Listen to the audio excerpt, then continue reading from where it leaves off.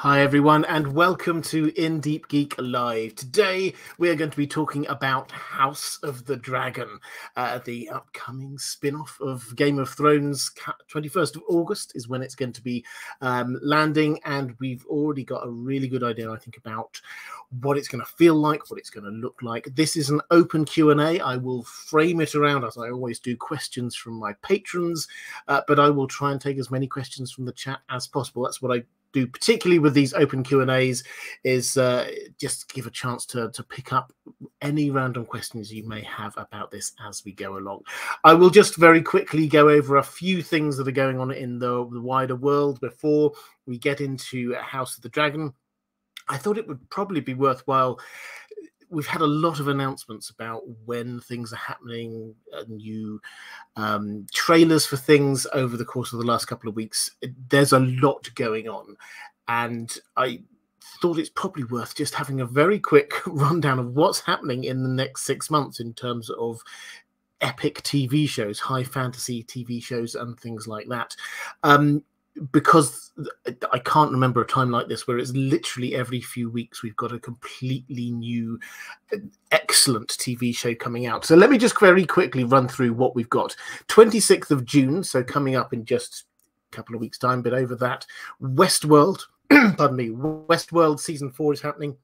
This has kind of uh, come under the radar quite a bit. They've not done the same amount of publicity that they have. Um, for previous seasons, but the trailer, which came out a couple of weeks ago, looks very good. So um, I'm not going to be covering this in the same detail I did previous seasons.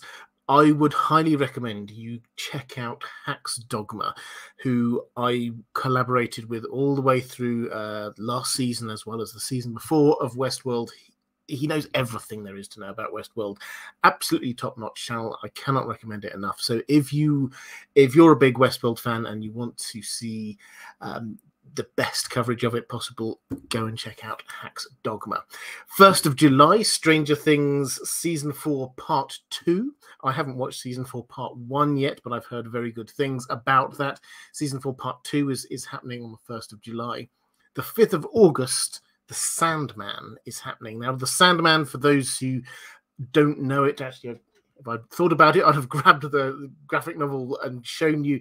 This is uh, generally accepted to be one of, if not the finest examples of graphic novels there are. Written by Neil Gaiman, um, absolutely brilliant. It ran for something like 75 issues, I think. Um, brilliant story has been made into a fantastic um, adaptation on that I've been listening to on Audible. Uh, full cast adaptation. Now it's been made into a TV show. It's going to be on Netflix. The trailer just came out earlier this week. If you want to check that out, there's a link on my Twitter. I think that looks pretty amazing. I'm very excited about it. You may not know huge amounts about The Sandman, but if you like Neil Gaiman, if you like dark fantasy, uh, for this will be dark, uh, then 21st of August, we've got House of the Dragon, which we're going to be talking about uh, in just a moment. The 2nd of September, Rings of Power, Lord of the Rings, The Rings of Power. Um, that's going to come up. So there's only like a couple of weeks uh, between those two. Then we've got a few other things we haven't got release dates for yet, but are almost certainly happening later on this year. His Dark Materials season three, they have finished filming it, they're in post production now. Um, I'm expecting it second half of the year, probably sometime around October. Doctor Who, there's only going to be one more episode this year, but it's the regeneration episode. So if you want to see 13 turning into 14, um, that I think is going to be in October.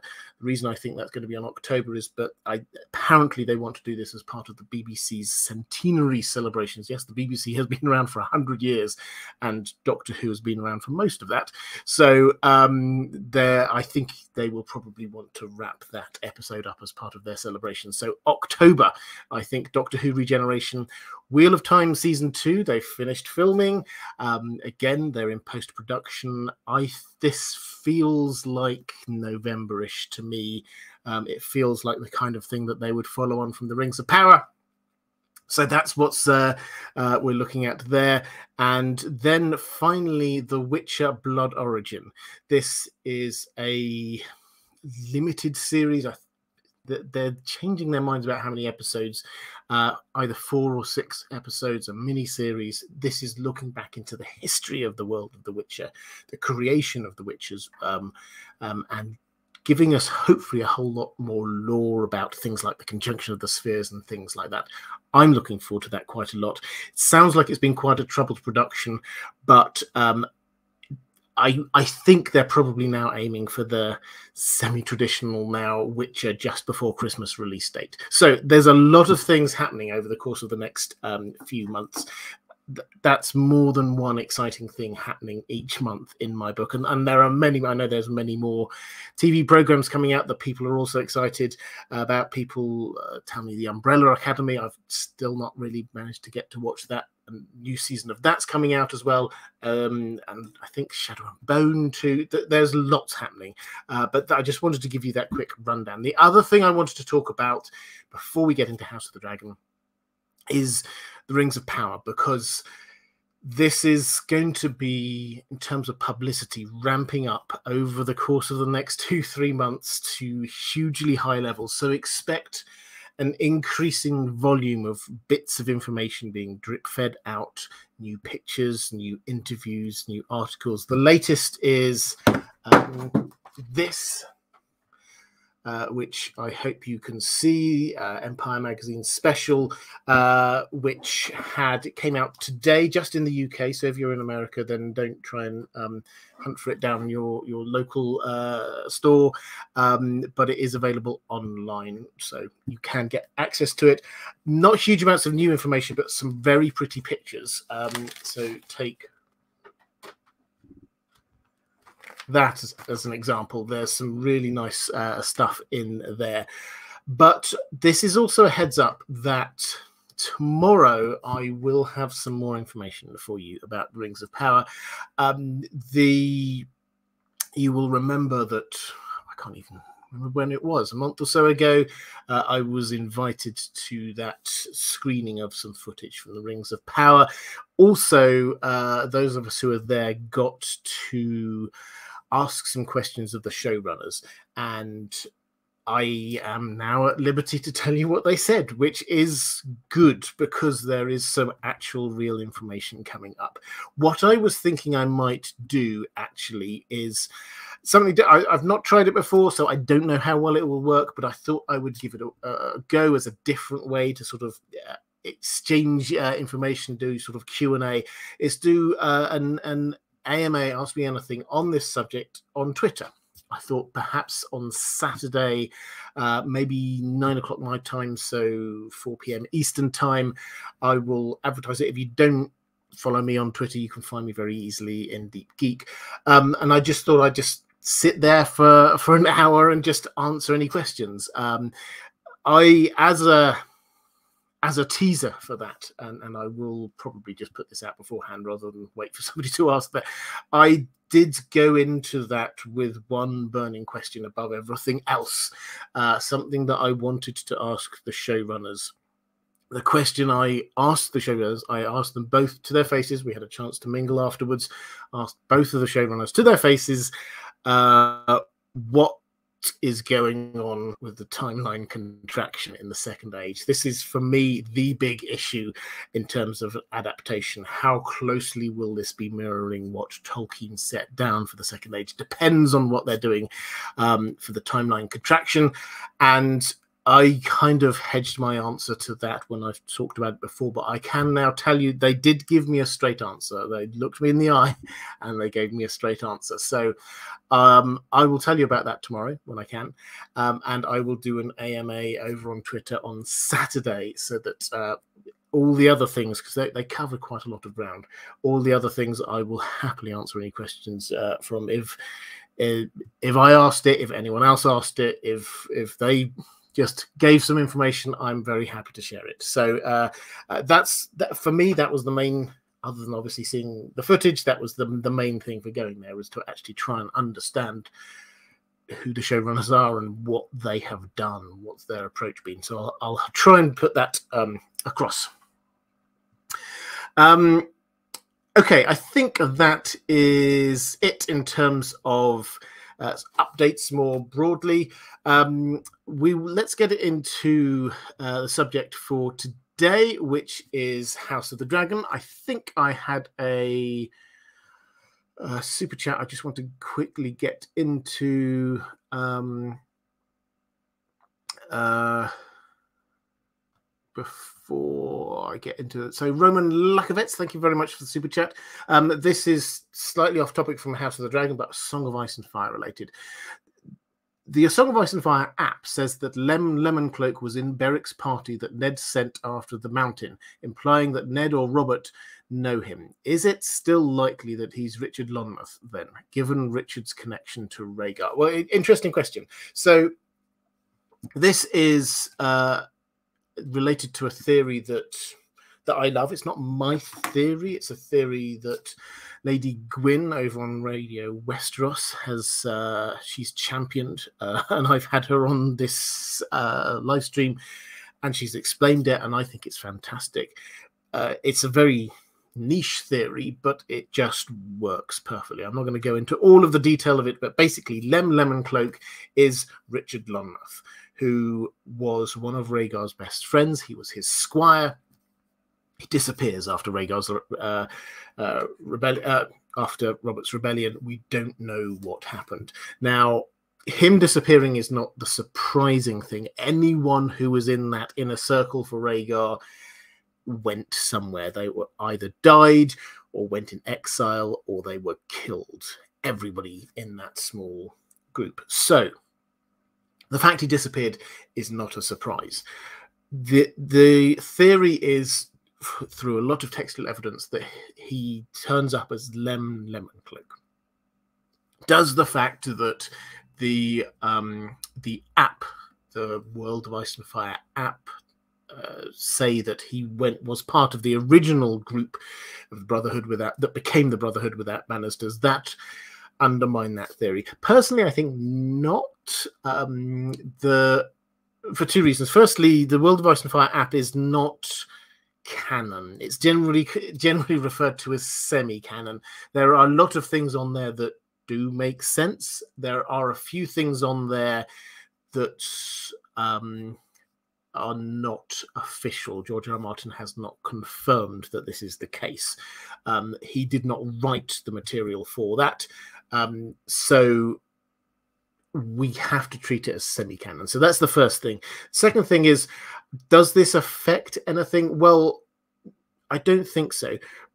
Beric was chosen by Ned, I'm pretty sure, because he trusted him. He trusted him not just because, you know, maybe he met him a couple of times, but because Beric was tied in with House Dayne. He was actually engaged to be married to a member of House Dayne. So that's why he trusted him. Who could Richard Lonmouth, if he was hiding, who could he possibly trust?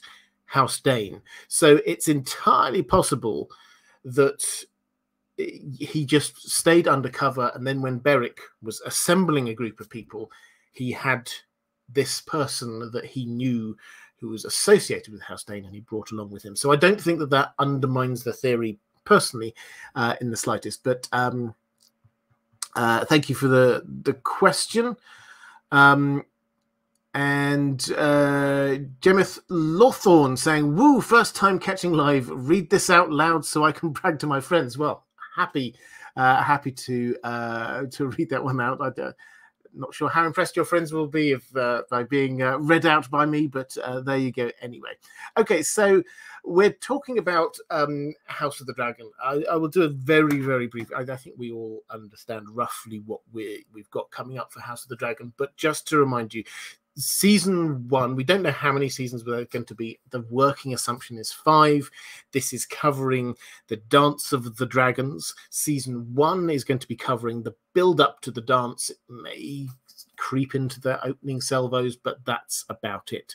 So, what we will have is a whole season that's covers quite a large span of time. They've casted a few younger actors for some of the central characters, uh, so for when they were sort of teenagers or children. and we we've got a, a period of time of I, I don't know co- covering all the way back probably in flashback to um, the Great Council at Harrenhal. So a long build up. Season one is going to be that uh, the the uh, build up as a whole. Season two, all the way through to season five, will be the actual dance. Um, now, I'll I'll start. Why don't I start with uh, one of the questions from uh, one of my patrons because this kind of introduces a subject about the handling of it, and I, I want to talk about the handling of it, uh, and then address the question. So, the Children of Jack Acid says in the actual Fire and Blood book, what are some key moments in the lives of the Targaryens where Septon Eustace and Mushrooms accounts definitely contradict one another? And in those examples, do you, me, have strong opinions on whether Mushroom or Eustace or neither of them is telling the correct version of things? In other words, can we catch either source in any deliberate lies? Okay, so I will answer the um, the specific there in just one moment. But in terms of the handling, I think I mentioned this last week, but it bears repeating because this is very important in terms of what we're going to be seeing. Fire and Blood is written as a an in-world history book with sources. Um, the two mentioned that the two biggest sources we have Septon Eustace and we have Mushroom, who often contradict each other. They often have different interpretations. They're not always um, claiming to have inside knowledge. They're sometimes saying, uh, and they're sort of being quoted by Gyldayn, the actual author, in world author of this, as being Mushroom thinks that this was such and such happened. It's not that Mushroom claims to have witnessed it all the time, it's just that that's what Mushroom thinks happened. And we should therefore take that with as big or little a pinch of salt as you wish when it comes to Mushroom, similarly with Septon Eustace. So that's how the book operated. George R. R. Martin, on his Not a blog a week or so ago, he did explicitly address this um, by saying that in on the TV show they are not going to show all these different perspectives. They're just going to show one story, so one truth that goes through. Now that doesn't under in George R. R. Martin's uh, mind anyway. That doesn't undermine the book in any way. There, this is their interpretation of events, the, the showrunner's interpretation of events, and he's happy with it. And sometimes he thinks that their interpretation is better than perhaps what his interpretation had been. So he's very flattering about their approach. But the key point is that they are just going to go with this one idea. And that means that we will going through this when we're starting to analyze this that we're not going to be analyzing it or, breaking it down and saying, well, what's going to happen next? But we will be starting to compare the book and the TV show because of creative decisions that have been made. So that's not necessarily critiquing it, but that is where we're going to be coming at this, uh, or the, the, lens with which we're going to be coming at this from. Um, but you asked, uh, Children of Jack Acid, you were asking for some examples about where Mushroom and Eustace disagree, there, there are a lot of these. Uh, I've picked out just a few. I just sort of noted them down here, um, and I think at the end of that, hopefully, they will give a flavour of what my view is on who we can trust and who we can't. Um, so there's a few instances. There's uh, why Daemon was forced to leave King's Landing um, the first time around. Um, now, Eustace says that he seduced or suggests that perhaps it was because he seduced Rhaenyra. Mushroom says that he he seduced Rhaenyra and, and taught her how to seduce Criston Cole. Um, now, where do we go with that? I think we probably look for the common factor. It, in both of them, Daemon got too close to Rhaenyra for Viserys's liking, and that fits the facts that Viserys then cast him out of court. Um, so when Mushroom adds an extra layer, that the motivation for Daemon to do that was to help her to seduce Criston Cole. It's possible, but at the same time, might Daemon just have been using that as a ruse to get closer to her himself? At this point, we have to remember Daemon is trying to get as close to possible to power. And the close the way that he could get to power is probably by marrying Rhaenyra. And so him trying to get close to her seems to go in that. So out of this one, who do we trust? I think actually possibly both, but I think mushrooms adding on an extra layer there that's probably not necessary. Um, then uh, there was that last night another time the, the before Rhaenyra was going to go off and get married, there was this an incident happened. We've talked about this quite a few things. An incident happened with uh, Criston Cole. Now, Eustace says that Criston Cole went to her and suggested that they elope, and she said no. Mushroom says that she went to him. This is sort of in line with his idea that she she was uh, lusting after him, so she went after him, and he said no. Which of these two works best? I mean, I think either could, but I've said before, and I, I think it's right on balance, given the fact that following on from that, Criston Cole completely shifted sides. He's the person here who has the bad reaction and he reacts like a, a spurned suitor. That's his reaction to me. That seems right, which feels to me as if Septon Eustace was probably more likely to be right there. Um, a third example we've got is um, talking about the who was the, the daddy of the Rhaenyra's three sons. Uh, Septon Eustace kind of hums and haws and sort of basically suggests this is Laenor because you know he's the husband, of course, uh, and then Mushroom says, "No, of course not. This was Harwin Strong." I think on this one, we just have to go with Mushroom. It's pretty obvious. I think from all the facts that we've got that yes, these were uh, some strong boys. Um, these this was not Laenor was gay. He they, they as far as we can tell they never even slept together. So this is uh, this is mushroom in the right here, um, and then we get um, uh, a couple of instances to do with Laenor Velaryon's murder.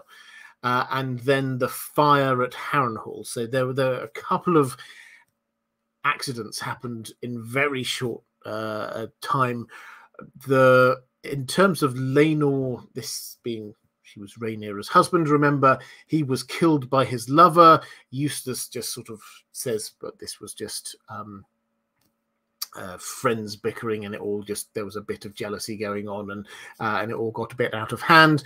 Mushroom thinks that this was a plot by Daemon to get uh, to kill Laenor so that he could marry Rhaenyra. Um, then there's also the fire at Harrenhal, which killed Harwin Strong, Rhaenyra's uh, lover, uh, as well as Lyonel. Uh, the Lord Eustace, at this point, Eustace thinks that maybe it was Daemon. Um, Mushroom thinks maybe it was Corlys. I I think both of these. It looks more like Daemon. Uh, the the things just it's too coincidental that the three things had to happen in short quick succession in order for Daemon to get what he wanted, which was to marry Rhaenyra. Um, Daemon's wife had to die. Rhaenyra's husband had to die. Rhaenyra's lover had to die. All three of those things happened, and then straight away, uh, Daemon swooped in and, uh, and married her. So I go with the idea that that was Daemon. So what does all this mean in terms of who should be trust? It depends on the situation, is the answer. Mushroom will almost always have the most salacious um, uh, suggestions about what happened. Eustace tends to be the more boring ones. In life, sometimes it's boring, sometimes it's salacious. And that, I think, is what George R. R. Martin is trying to show us here. It's not we should always believe Mushroom. It's more fun to believe Mushroom, but the truth is sometimes one way sometimes another so that's my that's my take on who we should trust in this. Um, also, sometimes one or other of them actually have inside knowledge, but uh, not all the time. Okay, uh, I had a, few questions in the chat. Let's see whether I can find them. Um,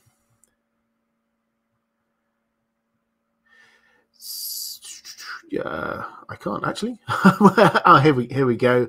Um, question from Eric Harker saying, Hello, Maester Robert. Do you know why George names the Tullys after Muppets during the dance? Kermit, Oscar, Elmo, and Grover. Does George love Sesame Street? George R. R. Martin has got a very silly sense of humor is is the answer to this it's not that he particularly likes sesame street yes he does name them uh, after those characters and um, i suspect this was before he realized that they were going to actually play quite a significant part in uh, something that would be both in a book and then also in on a TV show. Uh, he may may have gone for less silly names if he'd know if he'd thought about that. But um, if you go back to book one, when Catelyn uh, captures Tyrion and they head off east to the Eyrie. She takes Bronn with her, but also three other sellswords. And the name of those sellswords, the names of those sellswords, um, he slightly tweaks it, but basically as Larry, Curly, and Moe, who, uh, for those who don't know, this is old. I think they're black and white American comedy trio. Um, George R. R. Martin likes naming things after stuff that he likes. Um, there's um, a character at the Walter Patrick, um, and One One. This is named after some obscure American football reference that I, I don't truly understand, but he likes it. Um, George R. R. Martin has a very silly sense of humor, and he often drops things in just to amuse himself, really. So it's not that he's a big fan of Sesame Street. He may well like Sesame Street, but he just enjoys putting in little, I suppose we could call them Easter eggs, but things to amuse himself. Trippy Fox uh, saying, Hi, Robert, love all your content. Thank you. Um, my question to you is What is House of the Dragon most likely to visually or thematically parallel with the Game of Thrones show, with the Game of Thrones show? And do you see any specific references to the main A Song of Ice and Fire books? Okay, interesting question. In terms of um, visually or thematically paralleling, um, with the TV show, I think I think the it, it's going to be the darker side of it. I think that what we will see is a lot of the sort of the gritty um, stuff that we had in say seasons two through to about four, maybe five, when Westeros has got wars going on all over the place, where you get people trudging through the mud um, you get great bits of diplomacy and betrayal, the red wedding, things like that. That is the the sort of the thematic echo that we've got going on here. A country at civil war, a, a country where um, everybody is losing out of this, and the people who lose the most are the small folk, the ordinary people. And I that's certainly something that George R. R. Martin does want us to see. Is it's the ordinary people. He tells the story through the lens of the one percent, but it's the ordinary people who suffer the most. And I think that that is something. Hopefully, they will capture in um, uh, the House of the Dragon. In terms of uh, the sort of the the second thing about any specific references to the main books, I think there will be a lot, um, and they are the the way that George R. R. Martin tends to write these things is that he likes the idea of history rhyming. We see this again and again and again through A Song of Ice and Fire. Things echo down through the ages. So we will see a lot of things happening that echo through to the Song of Ice and Fire books. One of the things I think very strongly, I've talked about this before in King's Landing, when we have Rhaenyra who takes over for six months and is queen for six months. And the taxes go up on the people, and the people slowly turn against her, and she eventually gets hounded out. I have a feeling that that is going to echo what happens with Cersei in The Winds of Winter. So, um, th- that's the kind of thing there'll be echoes. I think the battle above the God's Eye Lake is also going to be an echo. I think going across. Um, so there will be lots of echoes sort of moving through this, uh, but it's the high level stuff. Um, it's this is war, and at a as a final point here, I think what perhaps, and I don't know whether this will be a sort of a an attempt to sort of rev- to sort of shift our perceptions for, for the Targaryens. But in the main Game of Thrones TV show, we, as an audience, we had quite a lot of sympathy for Dany all the way through this. She she was uh, portrayed very sympathetically. Um, that's partly the way that the the role was acted. Emilia Clarke was has been very open that she she really liked the character and she had a lot of sympathy for the character and so she played it in that way. Um, until the very end season eight we'll, we're not going to get i'm not going to go down that rabbit hole of what happened in season eight but the, the targaryens as a whole and their their right to rule as a field was put across in in game of thrones. I think this will show the Targaryens at the height of their power and then try to remind us quite how much damage dragons can do, quite how much the Targaryens are very entitled people, how they feel it is their right to rule, it is their right to tell other people what to do. And they will do that partly by showing us some Targaryens who are not very sympathetic characters. In fact, um, it will be very hard to find Targaryen characters in this TV show who we do actually sympathize with and want to cheer on personally. So it's a sort of a corrective on the feel that a lot of us got from Game of Thrones. Um, question from Cloaked One, uh, picking up for Ebenezer Germer. Thank you very much. Uh, love it when people uh, do this, pick up for questions for other people. Very kind. Do you think the show will shoehorn characters from popular houses to appease Game of Thrones fans? Bit worried we might see an out of place Stark or Lannister. I don't think they're going to shoehorn them. Uh, so the Starks will appear, the Lannisters will appear um, I, I think there's there's a chance that they might bolster the roles of those houses um, a little bit because we know them. Um, but I don't think they're going to shoehorn them in. So, uh, what I mean by that is season one we probably shouldn't see much of the Starks, realistically. The but we have in the trailer we've already seen a Stark. They're bending the knee, effectively pledging loyalty to Rhaenyra as heir to the throne. In the flashback to the um, when Viserys made everybody acknowledge that she was his heir. So we've already seen a Stark there. And then the next time we should see a Stark is when Jacaerys goes flies all the way to the north and stops off at a few different places and basically makes deals to um, get them onto Team Black. Winterfell is one of the places that he went. Now, they should appear. That should happen. The Starks should be there.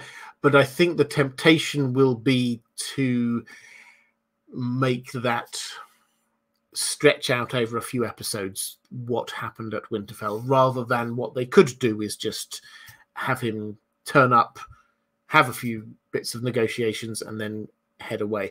There are rumors about what happened when when they were up there that perhaps they might wish to pick up and make into storylines. Sara Snow, for example. So that's what I think it is. I think that they will probably not shoehorn in extra. We won't suddenly find a Stark or a Lannister in the middle of the action when they shouldn't be there. But the bits where they should be there, I think that they might sort of just expand them out a little bit. But my hope is that by the later seasons, we have bought in enough and we understand, or the audience more broadly will have bought in enough that they they understand about House Hightower, they understand about House Velaryon, and they don't need to go back to these other houses. Uh, they have bought into these I say new houses. They're not new houses, but perhaps new for uh, viewers who have only seen Game of Thrones.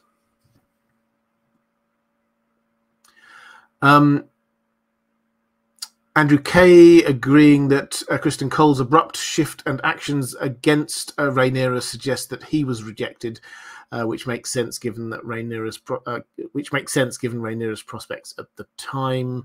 Uh, yep, I would agree with that. Um, question from uh, Lucian saying, Hi, Robert. Can you see any story details, dragons, or characters from Fire and Blood being potentially omitted from the show, similar to fAegon and Victarion in Game of Thrones? Not, not really. I don't think so. Game of Thrones, we well, A Song of Ice and Fire is big books that they had to crop down in order to uh, put them onto a TV show, um, or at least the length of TV show that they wanted to do. Fire and Blood is not that. Fire and Blood, we've got. I, I mean, I haven't counted the amount of pages, but it's a couple of hundred pages maybe in one book, which has to cover five seasons. So what we're more likely to see is adding things in than taking things out. So I don't think that we're going to see um, stuff coming. They might. So I mean, it pains me to say it, but they might exclude some characters like Mushroom, uh, or at least put him into the background because he's more of a sort of a book type character than uh, actual in plot importance to what happened in the Dance of the Dragons. Um, but uh, no, I can't. They're I, they're not going to.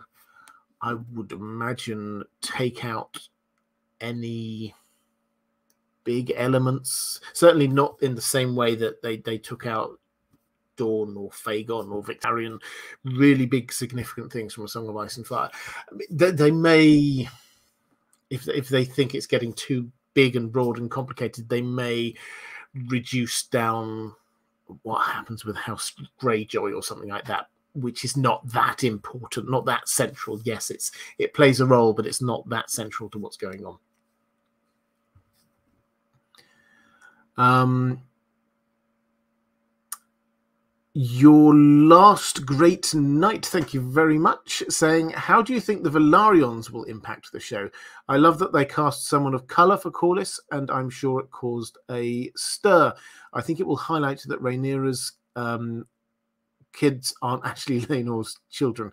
Yeah, so um, how will they impact on the show? I hopefully in a huge way because Corlys Velaryon, said it before, I'll say it again. He is a legend. This is how he should come across within this, this show. He is on his last legs. He's in his seventies by this point, but he he's travelled further than anyone else in Westeros ever. He's the richest man in all of Westeros. He's married the queen who never was. He's grandfather to uh, the heir apparent to the throne. He should, he's a legendary figure. He should be bestriding this as this uh, person that when he walks into the room, everybody should stop and pay attention to him. So he, his role should be absolutely central. Then we've also got sort of all of the wider uh, Velaryon clan with uh, his two children and then also his two probably bastards children um, Addam and Alyn.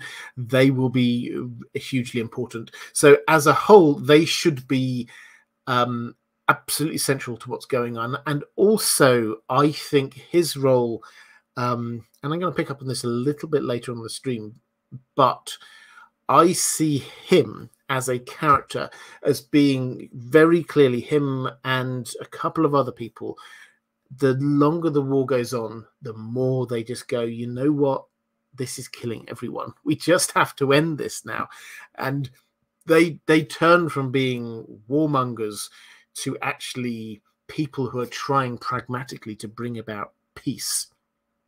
And that shift is vitally important in this. So although we often think about someone like Daemon uh, as being, or Criston Cole as being the real drivers a lot, a lot of this action, and they are, the person or the people who are more important in the longer game are the people who managed to stop this war because it could have carried on. It could very easily have carried on, and Corlys is central to that. So very important. Um, in terms of the highlighting that Rhaenyra's kids aren't actually Laenor's children. Yes. I think this is absolutely true. This is so uh, casting a person of color as Corlys Velaryon um, means, as we got, can see from behind that guy in the middle there is Laenor. So he's uh, he's the person who's married to Rhaenyra. Um, her kids do not look like him. They do not at all. They look like um, Harwin Strong and the Strongs are big, broad, uh, muscly, dark hair, um, uh, pale skin. They are sort basically sort of a northern house that happens to be in the south. That is what their look is, and this will very clearly show. And, and it is it's a directorial decision or showrunner decision to emphasize that because you could if you cast someone for for being Laenor who looked quite similar to that it's just you know maybe slightly more Valyrian then maybe the contrast wouldn't this is going to be very clear. Um and so that's going to make it very apparent to everyone that Rhaenyra's children are they are bastard children. So it should have an impact and it should be, be very visually obvious to um, to the audience. Um, Andrew Kay saying really looking forward to Corlys's uh, own series, but yet one of the um, uh, one of the series that we know are in development. Um, is the Nine Voyages of Corlys Florence when he was a younger man. Um, Kieran Grant saying Laenor being light skinned um, means that if he had a child with a white lady, the baby could look white. Yeah, so so what what we're wanting, if if we try and put ourselves into the minds of the showrunners, we're wanting this to to look pretty obvious that this is not Laenor's child, but leave open enough of uh, uh, possibility there that it it doesn't it's not ridiculous to say well these are my ch- my children of Laenor. That's what we're wanting. So this is Rhaenyra should not look stupid as if everybody's laughing at her, but it should be a an in joke that everybody knows really. Um, is that me caught up in the chat? Oh, a couple more. Uh, Brendan saying, uh, what were there the Lannister? What were the Lannister game plans at this point? And could you talk about the Rains of Castamere? Um, yes, well, the, the Lannisters. Uh, we we think of the Lannisters as being one of the big houses because obviously by the time Game of Thrones, Song of Ice and Fire, they are one of the big rich uh, houses. They're not at the time of the Dance of the Dragons. They are one of the top tier houses, of course, but after House Targaryen, which is top, then the next three most powerful houses are House Hightower, House Velaryon, and House Baratheon. Then you get the others underneath that. And so the Lannisters are trying to push themselves up into that top rung. Now, what is their game plan? Well, they've got uh, Tyland Lannister there, who is on the um, uh, the Green Council. He's a very clever person, um, and he um, does seem to be a bit of a social climber, but at the same time works his way through and survives a huge amount. You have to feel a bit sorry for him towards the end. What is their game? They just got on the wrong side of this, um, and where they end up as a house is like most other houses. It has to be said, just licking their wounds. When House Lannister, they they were forced to sort of bring their forces in to support the war effort and then the Greyjoys started just attacking, and so they raided Lannisport, they raided the west coast of the Westerlands, and House Lannister basically they shut themselves up in Casterly Rock and just let them let the Greyjoys just raid away. It they didn't have it doesn't look like they have a huge plan at this point. They they just put in threw in their lot with the wrong side. Um, despite them generally appearing relatively competent through this, they it just wasn't working for them. Uh, Jenny Bird saying, uh, "Hi Jenny," saying, "I find Fire and Blood even more depressing than A Song of Ice and Fire. Is there anything good we will be able to take away from uh, House of the Dragon? Is there a good character like Brienne we can get behind in this series, or will we hate everyone by the end?" Um, yeah, so this this links into a question from um, who was it? Uh, 440. Was it? No, it wasn't. I can't remember who it was. I will find the question from one of my uh, patrons who was asking who uh, who the good characters are and who are the bad characters. I um uh, in as much as yes george martin obviously likes gray characters but but where can we do are there any good characters not many is the short answer i i i think we will grow to see um some characters start off quite well so Rhaenyra seems to start off she's the realm's delight uh and she is in the right she she was the heir that was named by her father. Uh, she should have had the throne if they sort of gone with what um, the sort of natural law seems to imply. But the longer you get into it, the less and less we kind of like her. Uh, she seems to uh, degen- understandably degenerate as a character. Uh, her children, one after another, all die. Um, she turns from being the realm's delight into somebody that everybody hates. Her husband appears to, she's lost his affections. Everything seems to be going wrong, and it's understandable. So she she turns from being a really quite good and sympathetic character. I uh, what I will say is that a lot of characters go through this, or like some are sort of going up or down. I would say there there aren't any I mean, chat, please, if you if you can think of them, please do say main characters who are good. I would hold up someone like Lyman Beesbury as being probably a good character. Um, who has got a role in season one. Um, the actor that they've cast for this is is a very good character actor and comes across as being he generally plays characters who are nice. You can't help but like them. You might not always 100% respect them, but they they they seem quite warm. He's the guy for those who uh, watched it. it was Fleabag's dad. If you ever watched Fleabag, so it's that that's the kind of feel I'm getting um, and getting and he during the green council he was the person who stood his ground and just sort of said no i think this is right i think we should be doing this rather than your coup attempt. So I think he's the kind of character that we will like. Some of the children, I think we might like to start with. Um, I think Addam Velaryon, we they could definitely play him as being a good character. He certainly he is loyal. He doesn't seem to do anything wrong. Um, so there are some, but it's the characters who come through it and decide, like Corlys Velaryon, by the end of it, I want peace. Those are the characters I think that we'll end up really liking as a whole. This is going to be darker than A Song of Ice and Fire. I think there's no two ways around that. And uh, pure good characters, the Briennes, there aren't really any out there.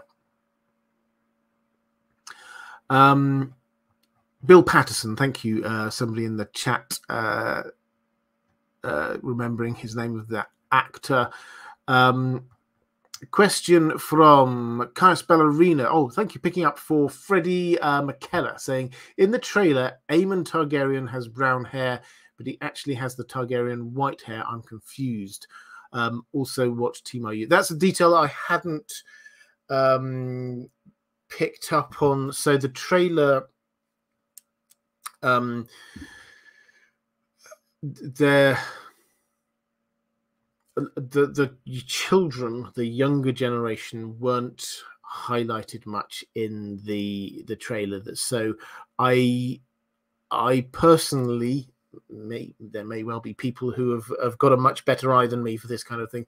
I personally am not willing to a hundred percent, but particularly for the younger versions of, of those characters, the very child um, child actors, I'm not a hundred percent able to point at some of them in the background and say yes that's definitely that character or that character um, so i don't know is the is the honest answer on that one but in terms of what team are you um as with all of these things, I'm not. I don't. I, I try not to take a team.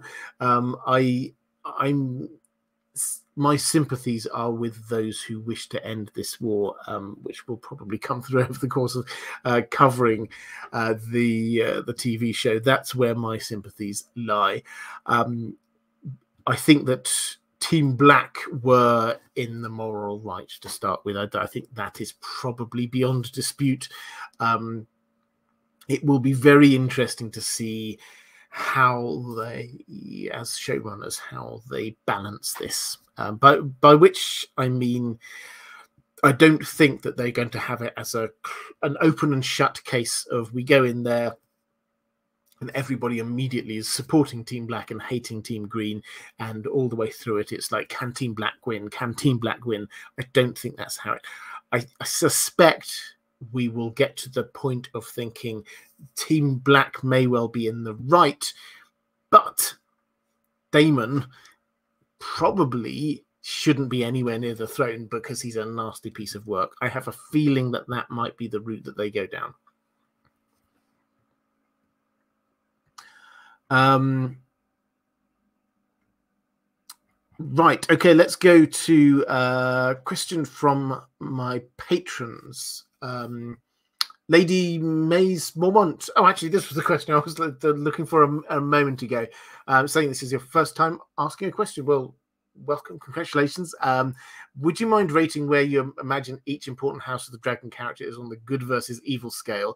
Um, I understand George R. Martin likes a good mix, but if you had to choose, so I, I think I've covered that one just uh, a moment ago. So hopefully that answers there.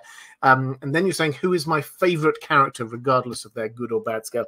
Um, well, from pardon me, from purely from Fire and Blood, the characters that I love, I don't know if I have a particular favorite. Larys Strong, I find fascinating, just trying to work out where he's coming from in all of this. I love Corlys Velaryon. I love um, uh, Mysaria. I think she's going to be a fascinating character. Um, and Daemon, I don't think you can take your eyes off of Daemon. Um, so those are the characters that I'm going into this really enjoying. Um, the the kind of characters that I was enjoying reading about. Now it'll be fascinating to see whether that is still the case in the TV show or whether other characters will come to the fore. For I think I think I will still be fascinated by Mysaria. I think that she looks like a really intriguing character from the little we've seen of her so far. I'm really looking forward to Matt Smith's performance. He should get this one right. Um, uh, the the character that George R. R. Martin has picked out, though, this was in the same blog post I was talking about earlier, is Viserys, and um, the Paddy Considine who plays him, and he he picked him out specifically, saying, "This is an instance where actually some combination of the writing and the actor has made this better than how I wrote the character. And when that comes from George R. I think that's high praise. Uh, I was very excited when I saw Paddy Considine was cast. If you think back 18 months or ago or whenever it was, uh, I said at the time I thought that was the one that they nailed it. I thought, yes, he can pull off that character. Um, and it sounds like he has. So I I think we will um uh I think we will get a lot from that character, and I think we will appreciate that character. And and I think I, am trying to think of the the phrase George R. R. Martin has something like tragic majesty, and I do wonder whether we will. Most people look at Viserys and just think, well, he's a weak ruler, but maybe we will see him as actually a good person. I don't know. It will be very interesting to see how that interpretation goes. Akaris Ballerina saying, "Why still no purple eyes? Viewers accept magic now." Uh, yeah, good question. Um, I think they've just abandoned that idea uh, for the TV show. Uh, the, I mean, I don't think there's much more I can say about that one. Um, the the purple eyes thing, uh, I, it was something, and I can't even remember all the details, but it was something as simple as uh, Emilia Clarke's couldn't put in the contact lenses to have the purple eyes, so they decided just to not do that. Um, and then they haven't felt the need to have purple eyes since then. So why should they introduce them for this? It would be good. I would have liked it, but I personally, it's quite a small point. I think um, it's a shame, but um, what are you going to do? Sarah, awesome sauce, thank you very much. Saying, do you think Daemon would have been satisfied to have his children with Ray, with Rhaenyra behind her strong bastards in the line of succession? Had the blacks prevailed, um, I don't think he would have allowed a strong to take the Iron Throne.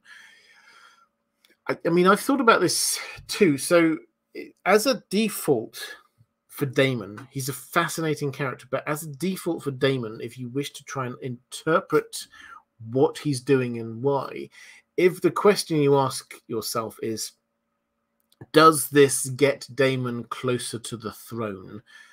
That is a reasonable uh, motivation every single time. To start with, he thinks that he is the heir he thinks that um, the fact that Rhaenyra is that is um, uh, as a woman means that he, as the the next male in line, he should be inheriting. Uh, he should be succeeding as king, uh, and he even uh, when Viserys has a son who tragically dies after a day, he's even there toasting the the death of this child because he thinks this means that he's still going to be king. When it turns out that Rhaenyra is has been um, made the heir, then he starts trying to get close to uh, Rhaenyra. Um, then uh, after uh, lots and lots of um, sort of setbacks, he manages to get himself back into favor by marrying into the Velaryon family, which gets him closer.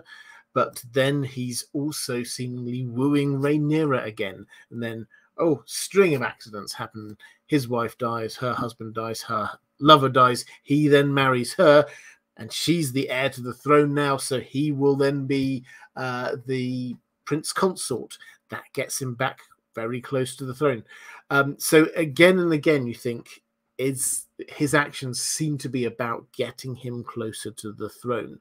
Um, would he have allowed her strong children to be um, inheriting? I. It's speculation. I think that there's a chance that they might have had accidents. Um, we don't know. Uh, but I think that there's a there's a very strong chance that he might have wanted his children to be taking over.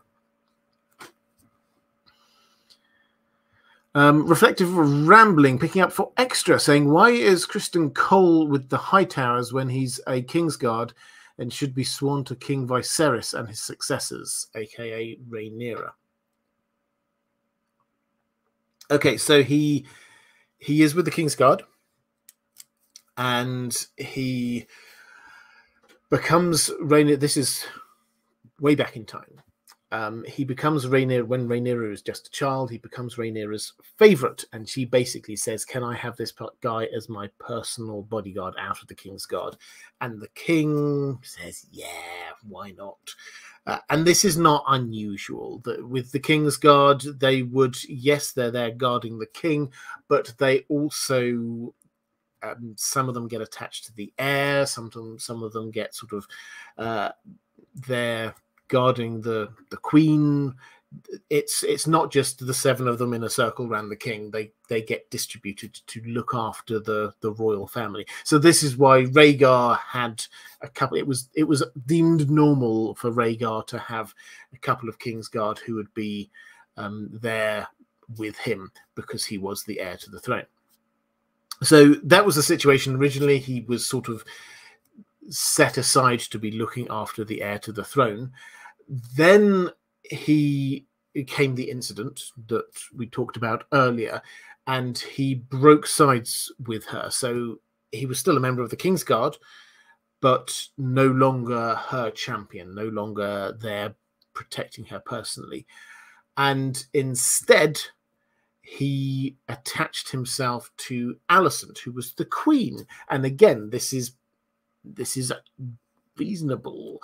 This is not unexpected. The fact that he was the Lord Commander does normally seem to imply that he should have been by the um, the king himself, but uh, that's uh, Viserys was quite weak when it came to Alicent and Rhaenyra. He just wanted them to get on and everything to be okay. So, um, yeah, it's um, it's unusual, but not out of bounds. Um, E. Marty saying, Have you considered dragon hatching is tied to certain Targaryens women being present? Maybe childbirth or motherhood and genetics. Um, yeah, so so dragon dragons being born, being hatched this is one of those things you kind of have to read between the lines because it, we're not told much about the way that this happened. It's just it just seemed to happen in the same way that um, animals have babies um, dragons sometimes their eggs hatched and it happened most often on Dragonstone. They it seemed that seemed to be a good place for them to be having uh, the, for the dragons hatching, but not always at Dragonstone. Um, so it doesn't seem to have been. You can try and trace around. Are there any particular factors which make it um, more or less likely that they will hatch? And there doesn't seem to be much, to be honest. Uh, so the idea, um, uh, a dragon hatching being tied to uh, Targaryen women, birth or motherhood and genetics, it does. I mean, it, a lot of the time there are women present, but at the same time there are a few times when we just read and some some eggs were hatching on Dragonstone, and it's like we're not told that's because there were women around uh, at that uh, particular time. I mean, it's it's bet easier to argue that it's to do with women being there than men because the women do seem to be a quite constant presence uh, around the dragons. But um, I personally, I don't think I don't think so. I think it's just they would hatch as as normal. Um, let's go to um, Zakalok saying, Bonjour, Robert. Bonjour. How do you think they will treat Silverwing's case in House of the Dragon? Silverwing, um, I don't know uh, when you're saying how they would treat the case, but I'll, I'll give the overview of the Silverwing story. Silverwing being a dragon. This is Queen, good Queen Alicent's dragon. She dies before this, and um, Silverwing at the beginning of the Dance of the Dragons is just on Dragonstone. Has made a little lair in one of the caves and is sort of living out its middle age um, quite happily without a rider. I think that they will stick with that. I think purely in terms of CGI budgets, special effects budgets for season one, if they can have as few dragons as possible, I think they'd be very happy with that. So I don't think they need to show these dragons that happen to be hiding away in Dragonstone. Uh, so we won't be introduced to Silverwing, I suspect, until we get to the Dragon Seeds, and the Dragon Seeds probably won't happen until season three, maybe would be my guess when we get the dragon seeds, people try to um, uh, bond with these dragons. Someone does manage to bond with Silverwing. That's Ulf White. Uh, Ulf White rides Silverwing um, successfully for a year or so before um, uh, he and Hugh Hammer turn sides, turn cloaks at the Tumbleton. So then Ulf White dies, is killed basically. What happens to Silverwing? Silverwing survives. Um, and then after sort of flying around for a little bit, Tumbleton is basically a horrific massacre if you're looking at terrible this is war at its worst tumbleton should be that um, it, basically Silverwing just flies off and ends up in on an island in Red Lake and is not really seen from again. So how will they handle Silverwing? I think just like that. I don't think they will show anything special. Um, I think that Silverwing will appear in say season three with the dragon seeds. Um, be flown around by Alf White for a bit, and then after Alf White dies, Silverwing will fly off. Um, AK Channel TV saying, Who is the best warrior at this time? That's an excellent question. Um, I mean, I, it, it's quite hard to say. Uh, it's, it's hard to establish exactly who is the best warrior during something like A Song of Ice and Fire, where we've got lots of evidence. We've got a lot less evidence um, here uh, for who the best warrior is. Uh, Criston Cole was very successful in um, tourneys, so he clearly is a very strong warrior. Um, we also have uh, the likes of, I mean, in terms of dragon riders, Daemon was was uh, there, and also Aemond, very strong.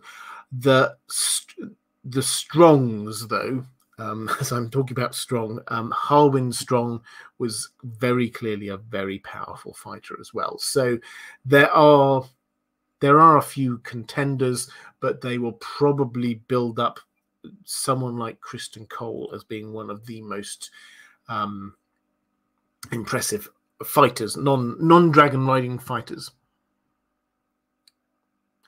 Um,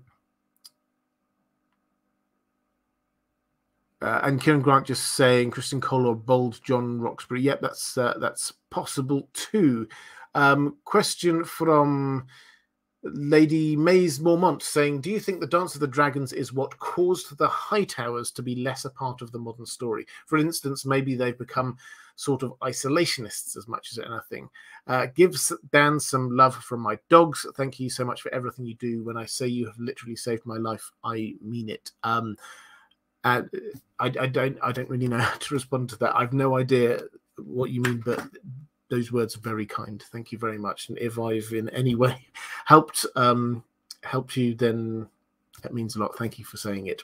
Um, in terms of the Hightowers, uh, and every blessing to you as well, by the way.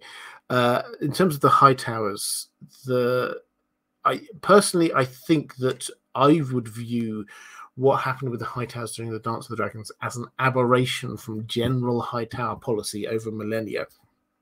Hightower policy over millennia is they stick to Oldtown. they stick to playing politics behind the scenes. They stick to uh, influencing things through the maesters, through uh, septons, the faith. That is the way that they've always worked. Um, they've not really tried to push on and take control over bigger areas, the Seven Kingdoms itself. Um, Otto and Alicent Hightower are the aberrations in this. So afterwards, yes, they're left licking their wounds uh, a bit. Um, most of the major houses in uh, Westeros afterwards are licking their wounds, having to repair themselves. But I think this is just a reversion back to the mean, reversion back to where they were before, uh, a, a the policy which has carried on through to the world of A Song of Ice and Fire, the time of A Song of Ice and Fire, when they are rich, powerful, influential, but sticking to um, their own world, their own space, their own city, rather than intervening in politics in King's Landing. Um, Zakalok saying, How will they treat the various or numerous tourneys that occurred during Viserys's reign? Um, well, I, I, think the way that lots of tourneys happened, um, I, I, think we read of at least five or six um, just in that period of time. Um, there will have been even more. It's just those are the ones where things happened. How will they treat them? Well, we've seen from the trailer uh, they're going to show at least one of them. We see people jousting. We see um, when um, Criston Cole and Daemon fought in a melee.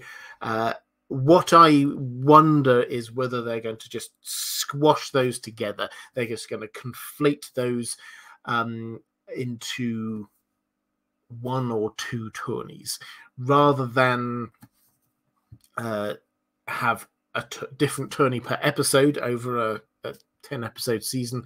I think maybe they will just have one or two tourneys to try and um, show uh, what happened. In particular, the important one will be the one with the greens and the blacks. Um, as in where we get uh, Alicent wearing green and Rhaenyra wearing black and red. So that they will definitely show. They may try and push a few of the different events into that um, that were not there before. I don't know. I don't think they wanted this to be just about tourneys, so they're not going to just be talking about tourneys, but there will definitely be tourneys in there. Um, Diego Godoy saying, Hola, Robert, hola. What do you think will be the most shocking moments of the TV show? For me personally, reading Blood, uh, reading Blood and Cheese took my breath away. Uh, similar to seeing the fight of the Mountain versus Oberyn. What other moments do you think will have that touch of gruesome and unexpected violence? Pardon me. Um, so, I think you're right. Blood and Cheese will be the red wedding moment of this TV show. This will be the the moment when it just turns into something horrific and horrible. Um, and for people who haven't read the book, it will it will just blow their minds. I am sure that that that's everybody's read Fire and Blood, Blood, Blood and Cheese. It yeah, it's horrible. There are other moments that will also be pretty gruesome. Off the top of my head, the butcher's ball. You can, if you just imagine uh, the situation, the for those who haven't read it or can't remember, Criston Cole and his army are heading back from Harrenhal, back through the Riverlands. They go through this very long, slow march, and they find a uh, come across a whole load of dead bodies that have been sort of arranged out um, as you know, as if they're having a feast or something like that, and it's like, oh, this is horrible. They keep on going. There's another whole load of dead bodies, uh, sort of all arrayed out. This is horrible. They come again, keep going. There's another load. By this point, they're just they're ignoring all of these dead bodies, but this time, these aren't dead bodies. These are actual soldiers playing dead who suddenly jump up and start attacking them, and it it it it's just butchery. That will be horrible if you can just you can imagine the staging of that. Um, I think Tumbleton, the way it's described, should be. This is the horrors of war. This is how George R. Martin writes it. I, whether they're going to show us that, I don't know, uh, because it's not really central to the plot. It's just uh, this is what's happening to the normal people because some really nasty people are camped outside um, soldiers with nothing better to do, just destroying the lives of the people in the city. So those are there. In terms of set pieces, though, I think that the the battles where we have dragons fighting other dragons will be some of the most memorable. Um, the the first uh, one over Shipbreaker Bay, that will be significant. But the one which I think is going to stick with us is the battle over the God's Eye when we have Aemond and Daemon uh, uh, facing each other. Um, ah, uh, Divine Charaka saying Daemon versus Aemond over the God's Eye uh, could beat the Red Wedding if they execute it well. The VFX must outdo themselves on that scene. Yeah, absolutely. So um, it, it, it should it, this should be the pinnacle. That one I would say of the actual dance, the actual the dragons fighting each other. That should be the moment that we we had a few bits of it in season eight of Game of Thrones, dragons fighting each other, but almost blink and you miss it. This is a proper fight with the two characters who are perhaps the most charismatic characters on both sides finally meeting each other on two of the most deadly um, uh, dragons that there are, and this is it, it. It should be a proper show. This is like a season finale kind of stuff, um, and they collide, and we should be able to see what happens with the two of them, and it's ba- basically killing each other, and the whole thing. It should be amazing. So uh, yeah, I would agree with that.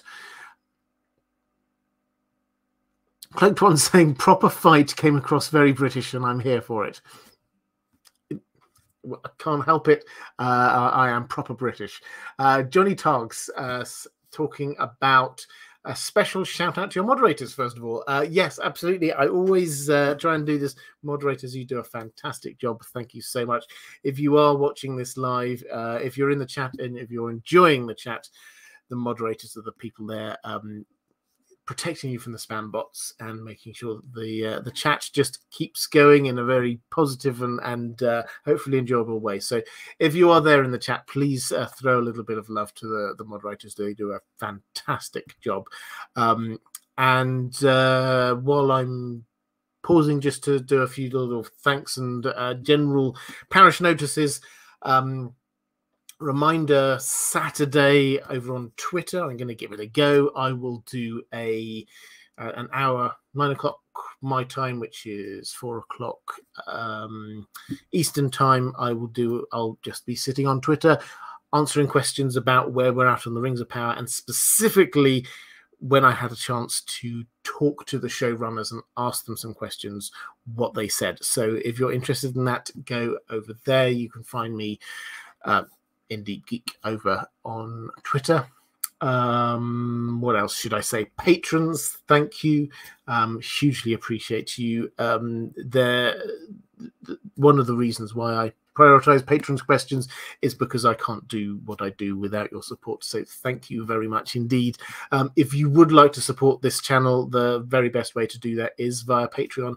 There is a link. Um, I don't know if I put the description in yet, but if you're watching this back a little bit later, down there will be appearing a link to my Patreon page.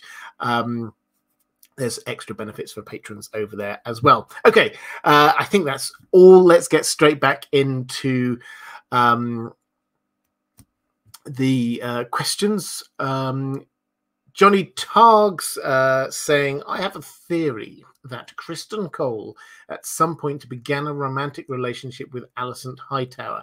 Curious to see if you think this is a possibility from your point of view. I, I like this. I don't know, is the short answer. And I don't think we've got the evidence from the book to say that this is the case. Um, but it's possible. I don't think we can rule this out. So basically, he did um, very much uh, shift his affections from Rhaenyra across to Alicent, and it isn't just uh, I don't like Rhaenyra anymore. Uh, what what do I do now?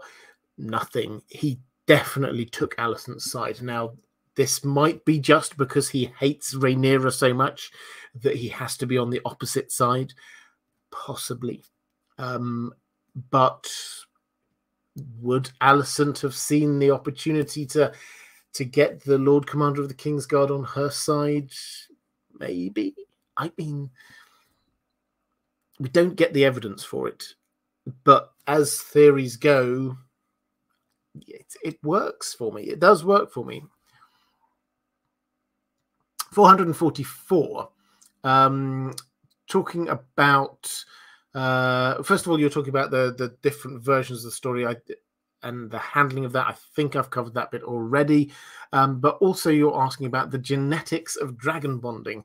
I have imagined uh, from a long time that Targaryen, the Targaryen ability to make a bond with a dragon is simple um, Mendelian genetics, where, pardon me, dragon bonding ability is a dominant um, allele, and pure blood Targaryens have two dominant alleles. Uh, this is sort of a bit of genetics or a gene, basically. Um, with every generation of outside Valyrian marriage, more and more recessive alleles were in the gene pool, resulting in dragon bonding abilities to be less frequent. So, um, yes, I, I, I think it does seem to be something like that, um, but what would I say is first of all, I think we have to accept the fact that this idea of pure Valyrian or pure Targaryen isn't necessary because, uh, which it, from what you're saying, you would also say it's not necessary. But Dany, who we think of as being pure-ish Targaryen, is, if you look back in her family tree, at best one eighth Targaryen because her family, um, we get Blackwoods and others who sort of marry into it at various different times. It's she's at best one eighth Targaryen. So, uh, but she seemed to have no problems at all bonding with her dragon. What seems to be the case is there there's there is some genetic element here, but that I think is not the entire answer. It's also a matter of um, how you approach this. So Dany she was the mother of dragons. She was there. She fed them. She was with them all the time. She crea- created a bond from the start, and that's a thing that uh, the Targaryens seem to instinctively know. So this idea of putting a dragon egg into a cradle. The idea there was that the dragon, right from a very early age, they would form a bond. So, this idea of bonding is not just about you can bond uh, because you've got the genetics for it, it's about trying to encourage it because you get close. And this is the message, seemingly, of Nettles is that Nettles probably uh, when she was bonding with Sheep Stealer, probably to start with, would not have been able to bond with Sheep Stealer, but managed to do it through slowly building a bond of trust, giving sheep to the dragon that likes to eat sheep, each time getting a little bit closer, each time getting a little bit friendlier, until eventually they trusted one another. So that can be contrasted to um, if you go to Quentyn Martell in the main story, and he he goes in there thinking, "I've got some Targaryen blood in me," which he does. Uh, he indisputably it is there, um, but he thinks he should just be able to go in to where the dragons are and sort of claim a dragon with a whip. That's not how this works. I think that there was probably every chance if he had very slowly over time gain the trust of one of the dragons, maybe he could have bonded with a dragon, but he just went about it completely the wrong way. So um, that's a slightly roundabout way of saying that I think you're right that there is one element of this is definitely to do with is the Targaryen or the Valyrian strain of um, dragoniness there. And the less Targaryen or the less Valyrian you are, then the less um, likely uh, you are to have both. You, you talk about there um, uh, having two parts to, to this, less likely to have two parts to this within your genetic uh, makeup. I think that's right but there's another element as well, which is to do with the actual bonding between a human and the dragon. Um, uh, Scott of Casterly Rock saying, according to Dan and Dave, one eighth is too much. Um, yeah, well, okay, fair enough. Um, Tyler Barnhart saying, um, in fact, no, I've missed one. Catherine Furseth, uh, let's go back to there, saying, Hi, Robert. How did foreign powers such as Braavos, the other free cities, the Iron Bank, etc., align themselves during the Dance of the Dragons? What was the foreign policy of the Greens and the Blacks, if they had any? And how did the other foreign powers view the two sides fighting in Westeros? Um, okay, so um, there is not a huge amount of involvement from foreign powers within the Dance of the Dragons. From the most part, most of the um, other uh, city states and powers just largely ignored it. Some because they're just so far away it doesn't matter to them at all. So Meereen and people in Slavers Bay, that's so far away that by the time they heard news that the Dance of the Dragons was happening, it was probably drawing to a close. That doesn't matter. The Dothraki don't care about it at all. It's really the only people that really um, would care about this are the free cities. So how did they uh, interact with it? Well, the the key point here in terms of foreign policy for the Greens and the Blacks is that the Greens under Otto Hightower actively tried to use the free cities to get onto their side to help them win. Otto Hightower, first of all, um, the this is Tywin Lannister as the um, um, Master of Coin, he split up the, the crown treasury into four parts. One part went to the Iron Bank of Braavos. So uh, th- that was a sort of a general involvement of Braavos. Braavos as a whole kept out of it. They, they had a few bits of involvement here and there, ships going to and fro, but broadly speaking, they did not get involved. The people who did, and the other people who did not get involved, incidentally, we don't think of them as a foreign power because uh, we, we're coming at it from a Song of Ice and Fire lens. But Dorne, Dorne, uh, Otto Hightower tried to get Dorne, who were not part of the Seven Kingdoms at the time, onto his side, and they basically just said no.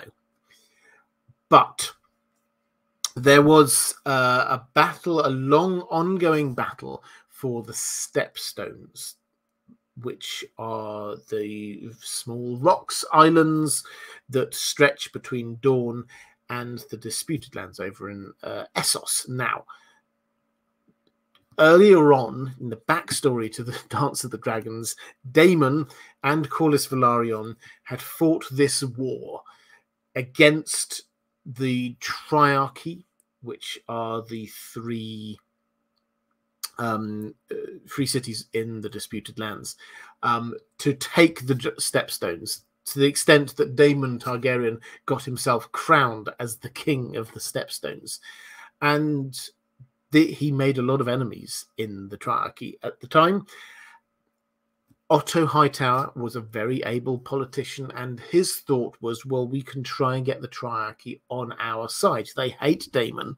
They want the stepstones for themselves. They won't want war because this is bad for trade. So he invited them to join onto his side and said, well, you can have the stepstones if you want to, and you get a chance to uh, to attack Daemon, which I know you hate, um, who I know you hate. And he sent out these letters. Ironically, he was his success. It worked. They did join. Uh, they they agreed to do it, but ironically, he didn't really get the credit for it because he got deposed by. Um, so Aegon the second basically got bored of waiting and said Otto Hightower, you're not doing it. You're just writing letters to people. This isn't war. You're not winning. You're not winning the war. Uh, so he he got rid of Otto Hightower as Hand of the King, replaced him with Criston Cole. Criston Cole goes and charges off to to Harrenhal, being a man of action. Uh, but finally, the Triarchy decide, you know what, we'll we'll do it. And so the Triarchy then send their um, fleet up and they it's, it's a crucial moment in the the bat the war because a few things happen first of all they managed they stumble across the ship which is trying to take um, a couple of uh, team black uh, their basically their heirs over to safety in uh, essos. This is um, aegon who will become Aegon the Third and Viserys. Uh, Aegon manages to survive and escape. Viserys seemingly gets lost.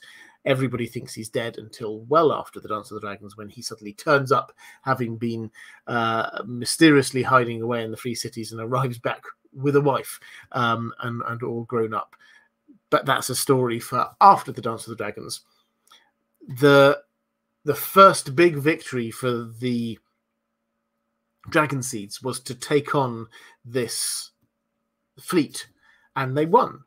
But the fleet, on returning home, stopped off and basically razed uh, Driftmark to the ground, or Spicetown, which uh, which was this uh, the the capital there, and High Tide, which was the castle, and this is important because House of Velaryon had been the richest family, the richest house in Westeros, but after that they were not. Their their money, which was all there, had was taken, was destroyed.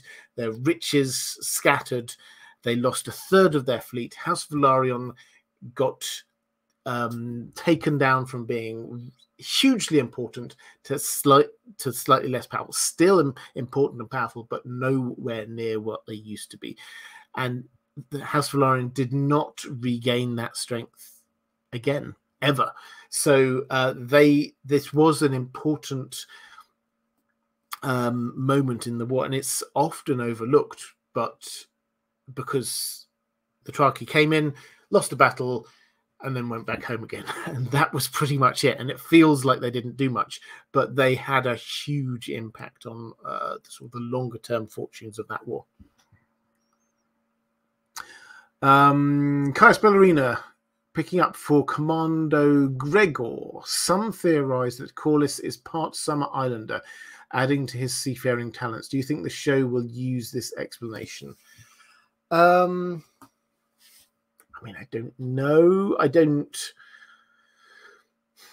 The thing with Corlys is that we don't. George Martin doesn't give us a huge history background to him. We don't. I don't think we even really know his parents' names. We're told that he inherited from his grandsire, so there's a bit of a mystery going on there. Um, will they give background to who he is, uh, whose parentage is? I don't think they need to. Uh, personally, I think I think they can just put it in there. This is who he is. So um, I think the answer is no. I mean, if if they feel they have to, then they could drop it in there. But it's more likely, I think, for the uh, the nine voyages, if that does get commissioned, then I think that they will probably then want to give him more of a backstory. Now, I think they for this TV show, I think it's uh, showing him, introducing him as a fully fledged uh, older guy. Um, his his parentage isn't the issue here. Um, it's who he is and what he's done that's important.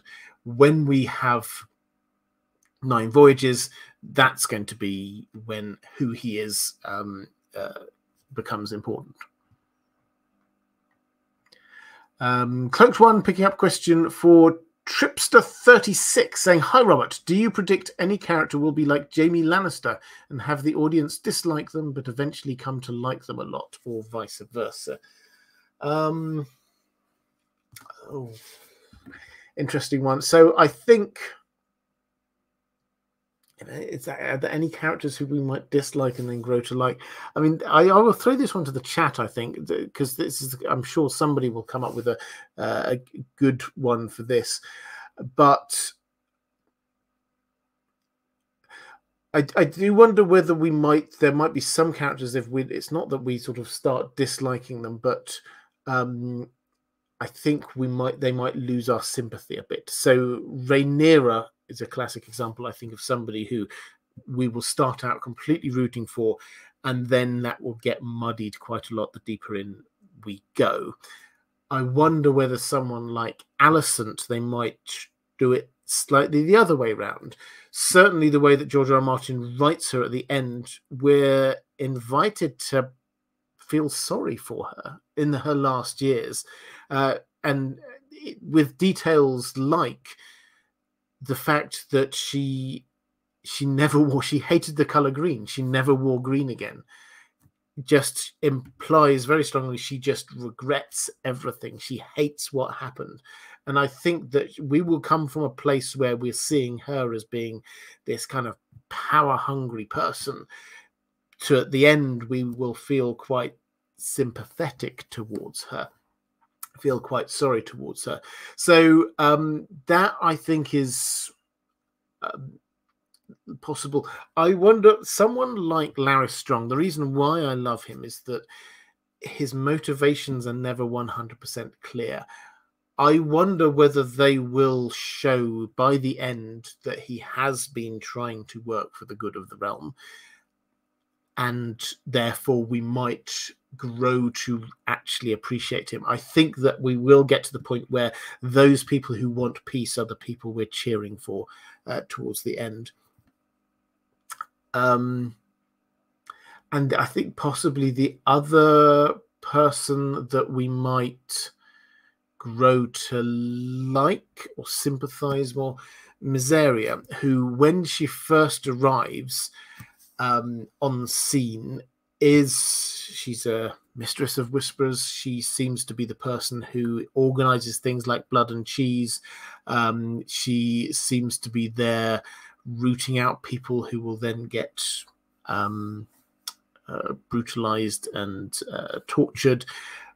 There's a fair chance we won't like a lot of what she does.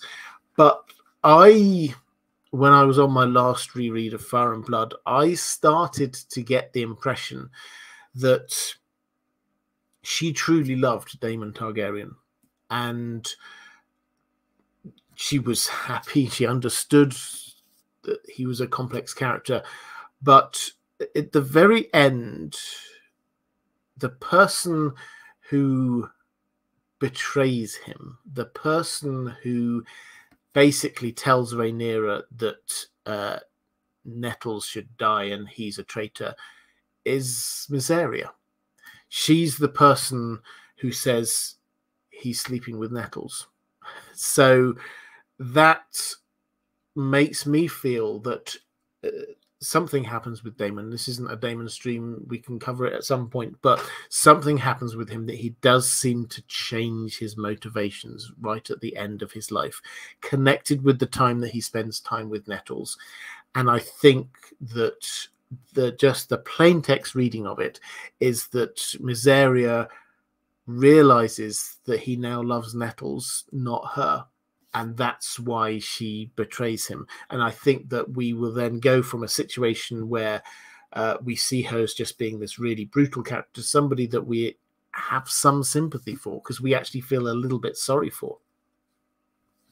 Interesting question, though. Um, I don't know if there's any. Uh, let me have a quick uh, look in the chat. Uh, Carl Karsnark saying she looks uh, nice and spooky in the trailers. Great outfit.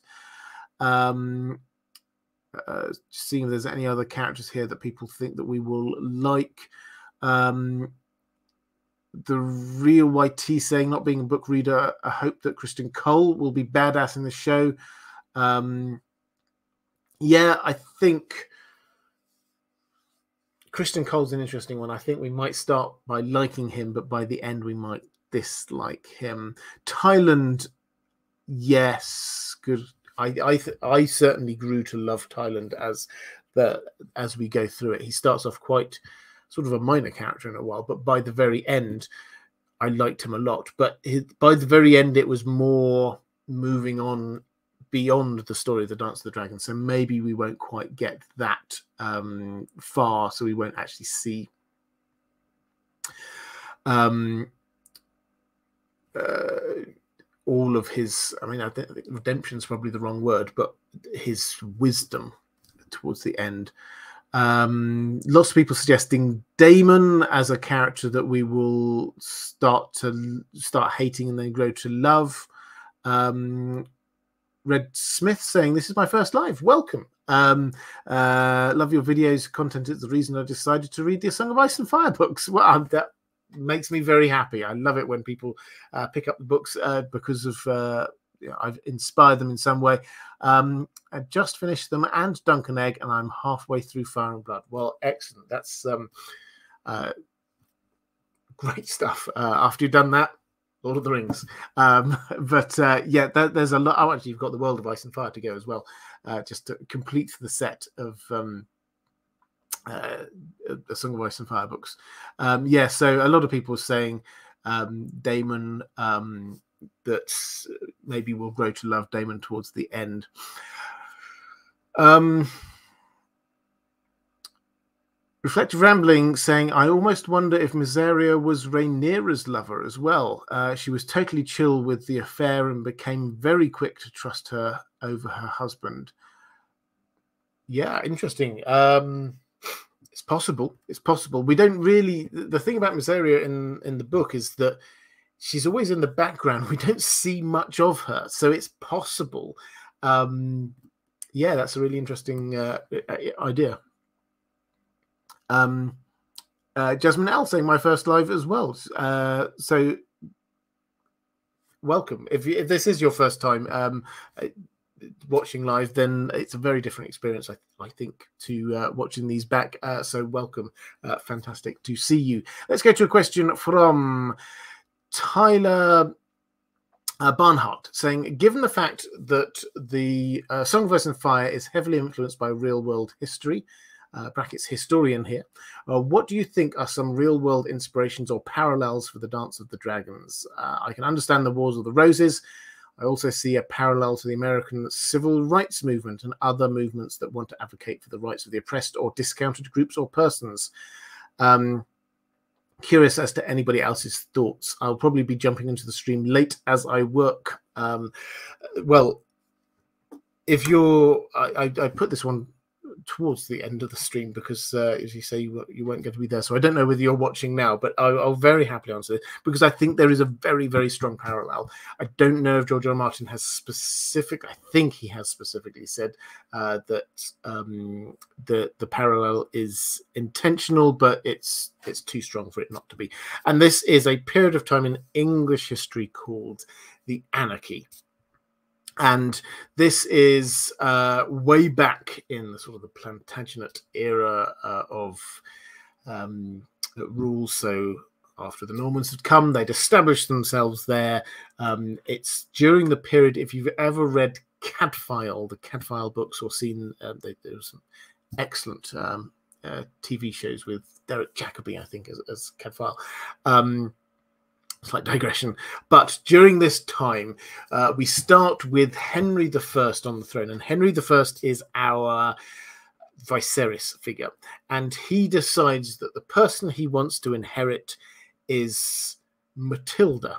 Now, Matilda is obviously a woman, um, but this goes against what a lot of people think should happen. But he's he's insistent, and he gets all of his barons and people there, and he gets them all to swear loyalty to Matilda and say that after he's gone, then Matilda's going to take over. We can already start to see the parallels. Matilda, however, is out of the country. I think she's in France, out of the country when Henry dies. And what happens is that there's this guy called Stephen who thinks that actually he should be, he's the first male in line, he should actually be king. And he rushes to London, gets himself crowned, and declares himself king. Meanwhile, Matilda hears about this and is aghast, but I should be ruling. And she then, she's off the mainlands, but she gathers together her loyal subjects and then heads in and starts taking, starts a sort of a, a counter revolution. And then we have civil war, and the country is sort of rent into parts of it.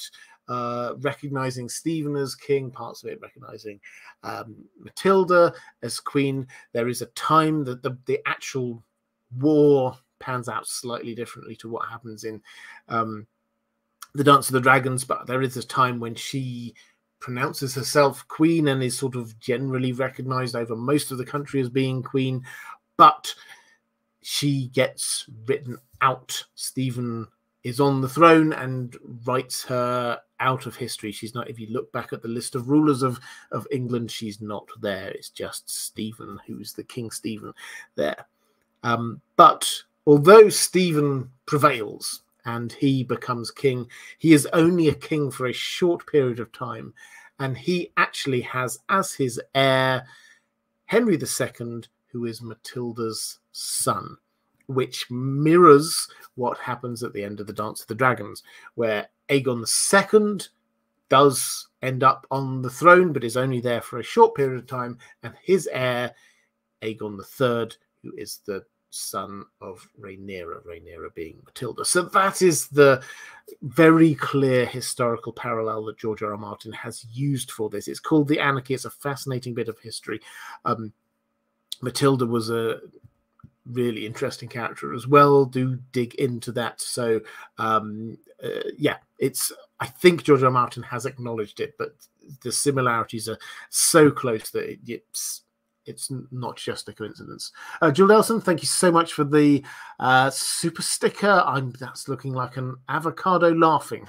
Um, I don't always understand these super stickers, but thank you. I really appreciate them. Um, Morgan Holmes saying best ending ever. Daemon kills one eye, falls into the water, almost drowning. Nettles jumps in and saves him, and then flies off with him uh, with Sheepstealer. Um, Yes, uh, I love it. My take, though, is that he doesn't survive. Um, he so Nettles heads off uh, into the mountains of the moon. Basically, Daemon. yeah, he kills Aemond, but he seems that seems to be his plan from the beginning was to fall to his death and kill Aemond on the way down. And we know this because of the fact, and we're told, George R. Martin specifically tells us, that Aemond um, strapped himself into his dragon with the chains that were there, but Daemon did not. We're specifically told that before the battle. Why did he not? So that he could leap from his own dragon and attack Aemond. That was that was his plan all along. Daemon went there to to kill Aemond and to die himself in the effort.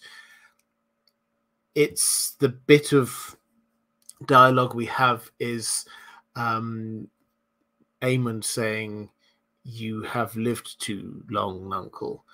And Daemon says, On that, we agree. Daemon thinks he's lived too long, and Daemon is happy to end his life at that point. So I think all the evidence goes to suggest he was expecting to die, and uh, we do get contacts with Nettles later, and there's no indication that Daemon is there at all. So I, I, love the idea of, of it. It will be a very happy ending. The two of them uh, living a happy life uh, away from all of the trappings of power, just them. But I don't think in reality it happened.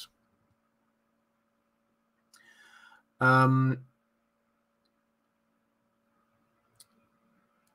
that's uh, so. I think that's me caught up in the chat for the moment. Let's go to. I've got a couple more questions from my patrons, and then I shall. I'll try and dig through uh, a lot of uh, the chat. There's some. I can see there's some excellent uh, thoughts and comments coming up in the chat. I'll try and get through as much of that as we can.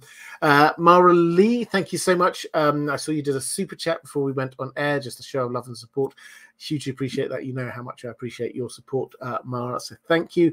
Um, just asking uh, questions about the show what days will the show appear on? Will it be on Sundays or on a different day? And also, how will I be covering it? Uh, will it be each episode like with Game of Thrones? And is that also how I'm going to do the Rings of Power? So, um, the short answer is uh, we haven't got all of the details from HBO, but 21st of August um, is a, uh, a Sunday so the working assumption is that this is going to be the same as they did for Game of Thrones. Why, when you've got a winning formula, why change it? So it's my best guess is it's going to be 9 p.m. Eastern time uh, on the Sunday, so that everybody can go into work on the Monday morning, chat about it. That's the idea. I think that they they've got. Um, as for Rings of Power, when that's going to be on, that's probably uh, again, we've not been told uh, exactly when it's going to be, but if they do it the same thing they did for the Wheel of Time, then it will come on on a Thursday US time uh, about this this period about this sort of time actually. Uh, so um, yeah, two hours into a live stream. So uh, what I would probably do for Rings of Power is just keep these live streams and have them as a as a pre-show uh, live stream and just keep it to an hour and 50 or something like that so everyone can go off make a cup of tea and then sit down and watch it. What my plan is for um, covering um, the uh, house of the dragon is i will do episode by episode breakdowns. As i did for game of thrones i will do this uh, the breakdown done within 24 hours of the show. So you can watch the show and then go straight off and, and watch my breakdown. Um, I will do that for both shows for the Rings of Power as well. Probably a pre show stream. Um, normally, unfortunately, being this side of the Atlantic, post show streams are not a very um, sociable hour for me. So I tend to do a pre show stream rather than the post show stream.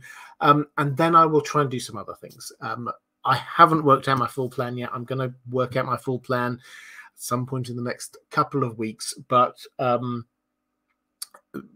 I'd uh, probably trailer breakdowns, probably um, videos covering the specific issues that come up each each week. All, there's always something people are asking questions about, so that's what I'm going to be doing. Um, it will be quite busy, um, trying to cover two shows at the same time. So um, I'll just do my best and and uh, try and marathon pace with these things. Um, I don't want to burn out. I will I will work out what I can commit to, and then I'll let you know. But always there will be breakdowns for every episode, and definitely live streams and some other stuff. Um, reflective rambling, picking up for Mike Henna uh, or Hannah, sorry. What's Aemond's motivation? Loyalty to his brother? He got revenge at Shipbreaker Bay, or a desire for history to view him positively? Um, Aemond is an interesting character. Uh, so he, yes, he wants revenge for himself. He's lost an eye. He wants to get revenge. Um, he does get that. What then? Then he's committed. He's on one side, um, and he, I think, he realizes that he just his side has to win, and he is there. He is supportive of his brother. Um, they were close, and so he is definitely wanting him to be um, uh, to be king. So it's loyalty. It's uh, the, initially a bit of personal vengeance. Um, and it's just a drive to be on the winning side. I think it's as simple as that. I don't think he never gives the impression of doing it for himself, even when he is the de facto leader, because uh, Aegon, for a large part of the and it doesn't come across. I mean, he comes across well in the books, obviously, but it's not dwelt on in the books. Uh, but I think it will become very apparent when we see it on the show. But Aegon is very damaged um, by uh, what happens to him, and um, he uh, he's physically damaged and mentally damaged, and he gets given milk of the poppy, and for most of the war, he's actually out of it. He's off his head. He doesn't want to engage, and Aemond, as the next in line, he does most of the running. He does most of the pushing. He is put actually the main main man. And i think that we will see that on the show very clearly is that whereas yes aegon is the name uh the the, the king that they're all trying to support actually this is this is Aemond's war and it's Criston's war rather than um, Aegon's war. Uh, Chaos Ballerina saying part one, and there's part two later as well. Thank you. Saying, what magic discipline is Alys Rivers supposed to use? Eustace calls her a woods witch. So is it the old gods? Is she a combo user like Mel, seeing visions in flames? She's supernaturally young and she curses a man so that if he's laughed at by someone, he'll die. Um, he does, and she's far away. Is this shadow binding? Does she serve R'hllor? Well, there are lots of questions, and we don't have answers in Fire and Blood. Um, we Fire and Blood Part Two, or Blood and Fire, as George R. R. Martin is now referring to it. Um, I'll, I'll wheel back around to Alys Rivers in a moment. But because I'm talking about that, I I now suspect we're going to see that a lot earlier than we thought we were. I I had thought that we weren't going to see that for years and years, if ever. Now I have a feeling that Fire and Blood Part Two, Blood and Fire, it may well be the next significant thing we see after Winds of Winter. So whenever the Winds of Winter's finished, I think he will very quickly finish Fire and Blood Part Two because he seems to enjoy writing it. He he rattled his way through Fire and Blood Part One when many uh, many people think that he they would have preferred him to be writing the winds of winter because he basically seemed to have got on a roll and loved writing it. The same seems to be true for fire and blood part two. He's written 200 pages of this already he's admitted. Um, and when you think this is if this is going to be about the same size as fire and blood part one that's I mean, he's a quarter of the way in already. And this is while he's actually concentrating on other stuff. So I think we're going to see that quite soon. Uh, the reason why I went down that slight digression was that uh, we will learn more about Alys Rivers in Fire and Blood Part 2, uh, for sure. Now, what we see of her, yes, we we hear that she looks into the flames. Um, she has this um, uh, apparent ability to some this guy dies when somebody laughs at him um, and she seems to put people under her charm spell. There's lots of stuff there. We have to interpret all of this through the lens of Gyldayn is a maester who hates magic and doesn't like magic and therefore is trying to paint her in as bad a light as possible. So we shouldn't necessarily pardon me, we shouldn't necessarily take everything he says as being literal truth. Added to which she, and the reason why I'm saying Fire and Blood Part 2 will learn, she claims that she's got heir to the throne, uh, a Targaryen, uh, as a child. So she will be important. What, on the basis of what we know at the moment, what is she? I, I mean, I don't tend to personally put George R. Martin's magic into these silos. I think that the people in world often think of them as being there as being silos, but I think a lot of the more powerful magicians actually merge a few of these and use magic per se from a number of different um, uh, stances and perspectives. What I mean by that is uh, we have so Melisandre has magic, shadow binding magic from Asshai, as well as uh, the magic that she seems to have learned about reading uh, the for seeing visions in fire, which comes from uh. That's where the religion has taught her that. Bloodraven, clearly, he he uses a lot of the sort of uh, old magic, um, Children of the Forest magic, but also he's got Targaryen magic flowing through him as well. Euron seems to be blending and merging a lot of uh, magic. He's using the magic of the um, Undying, but also he seems to have some sort of green seer magic to him. So a lot of the more powerful magic users do seem to merge a lot of the to use bits of different types of magic. So my instinct is that that's what's going on with Alys Rivers is that she um, she is using a lot of different types of magic. The seeing things in the flames does have a kind of a hint of R'hllor to it, but we're not. There's nothing else that suggests R'hllor. Um, the Harrenhal itself has got a lot of uh, sort of green seery magic whether it wants it or not, because it's right next to the Isle of Faces, because there's a huge Godswood there um, with a massive uh, weirwood tree. So there's a lot of that. Uh, my instinct is that she is a magic user, possibly a self taught magic user. Um, could call them a woods witch, uh, but I think that she just uses lots of different types and doesn't um, come at it from a very um, dogmatic perspective of saying I'm only doing this because this is the type of magic that I use.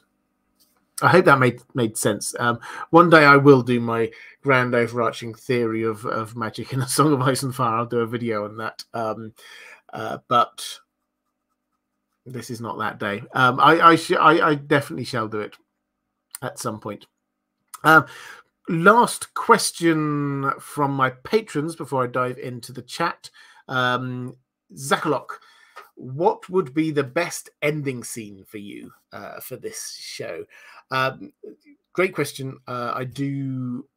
It's something I've th- I've thought about. For me, you could end it at a number of different places, but there is one great ending scene that we have in the book works for me because the, this doesn't the dance doesn't truly end until Aegon the second is dead, and we know that Aegon the third is going to be king. That's the point it, it ends. It doesn't truly end until um, we get the hour of the wolf has gone. Now, the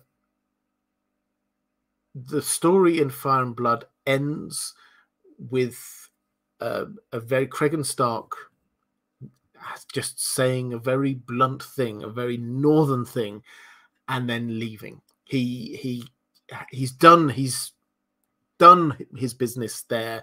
He's finished everything off. Um, he's killed the people he thinks needs to be killed. He's uh, effectively um, crowned the new king, um, and, and he takes his chain of office, hand of the king, throws it down. Uh, the new king uh, quits his job, and then he growls, uh, "The snows are falling in the north, and my place is at Winterfell." and then he goes, and that's it. He's there short period of time, bosses it, ends the war, uh, establishes everything, uh, and then just says, "My place is not here. My place is in the north," and then just marches out. And it's he's such a I I um, I would I already I can imagine him in my mind. And uh actually chat this is a thing. I would love to know your dream cast of who who Cregan Stark should be, because this is somebody who should come in the last few episodes of the whole show and absolutely boss it, absolutely be the most uh, powerful person, and then just turn around and say, "My place isn't here," and go away. You need a character with some, uh, an actor with some huge gravitas to be able to do that. Um, so